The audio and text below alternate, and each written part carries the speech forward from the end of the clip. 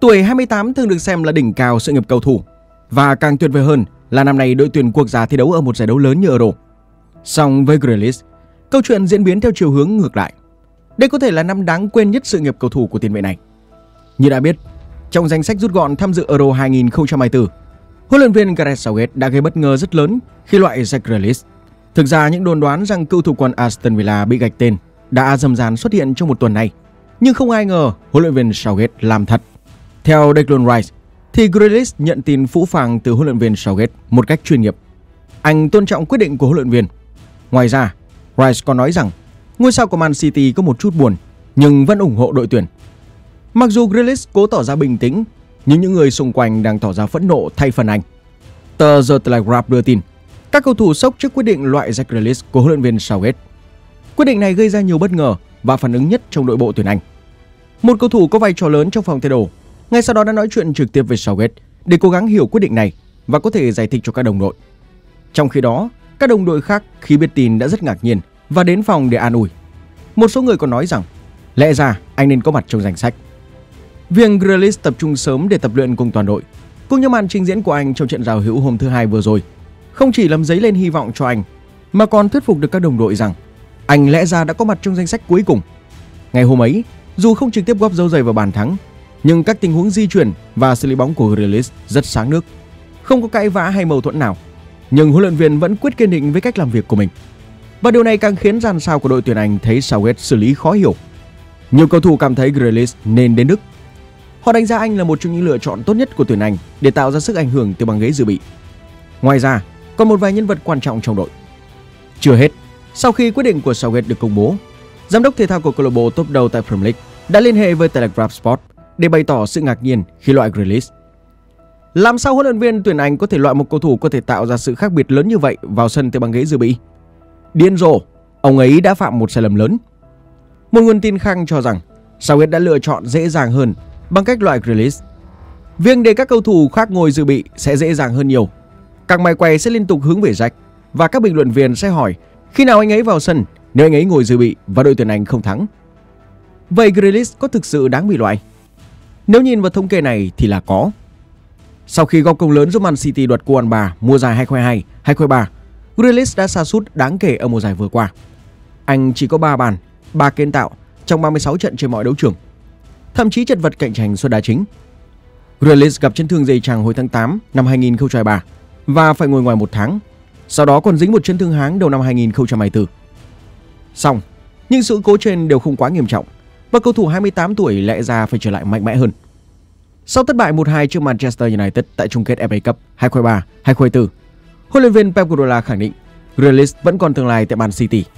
Mức giá 100 triệu bảng đem đến áp lực buộc thuyền trưởng người Tây Ban Nha phải giúp cựu sao Aston Villa trở lại với hình ảnh thăng hoa. Tín hiệu cảnh báo đến với Grealish khi Marcus Rashford không được triệu tập vào danh sách sơ bộ của Tam Sư hồi giữa tháng 5. Cựu sao Aston Villa cần màn trình diễn tốt tại chung kết FA Cup để cứu vãn tình hình. Tuy nhiên, trong trận chung kết trên sân Wembley, khi nửa xanh thành Manchester bị dẫn trước 0-2 và cần bàn gỡ, Pep tung Jeremy Doku vào sân thay vì Grealish. Điều khiến cho chiến lược gia 53 tuổi mong chờ xảy ra khi Doku chọc thủng lưới Man United.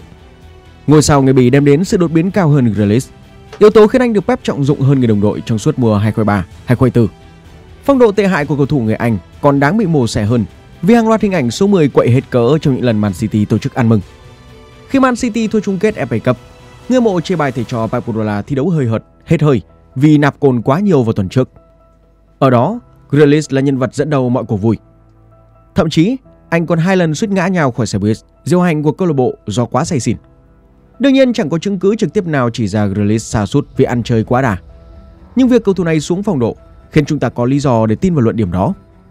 Bây giờ thì một bộ phận của động viên lại đang chỉ trích huấn luyện viên Southgate vì ông loại Grealish ư. Trong khi cũng chính họ trước đây từng đòi loại Harry Maguire vì phong độ tệ hại trong áo Man United.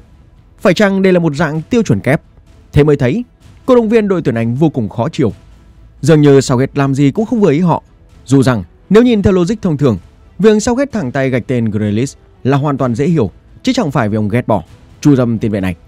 Trong giải đấu được cho là cơ hội cuối cùng, Southgate đã thay đổi quan điểm bản thân rất mạnh mẽ. Ông không còn ưu tiên những ngôi sao ở câu lạc bộ lớn như trước. Southgate đang sở hữu một thể cầu thủ tấn công tài năng trẻ và giàu khát khao công hiến. So với thời điểm dự World Cup 2018, khi chỉ có 4 cầu thủ Anh ghi trên 10 bàn ở Premier League. Southgate giờ đây đã có trong tay hàng loạt cái tên chất lượng như Palmer 22 bàn, Foden 19 bàn, Solanke 19 bàn. Sự xuất hiện của những nhân tố mới mẻ, giao năng lượng như Gordon, Eze, Palmer khiến Grealish thêm phần lép vế.